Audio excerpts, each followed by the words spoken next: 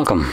In front of me is a Samsung Galaxy S22 and today I'll show you how you can copy your contacts from your SIM card to the device.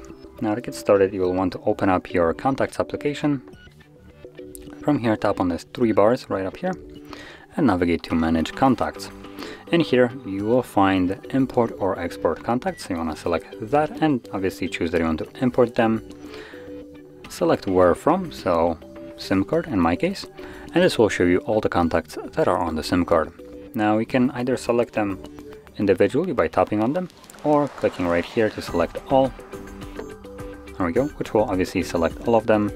You can also deselect if you don't want something and then select done at the bottom and it will ask you where you want to import them to.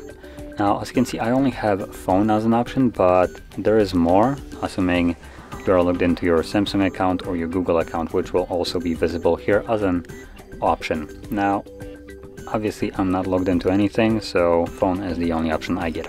So that is what I'm to select, and I'm to choose import. As you can see, these contacts have been added to your phone, so let's select OK, and there we go, we're finished and that is how you can import your contacts. So, if you found this very helpful, don't forget to hit like, subscribe, and thanks for watching. Thank you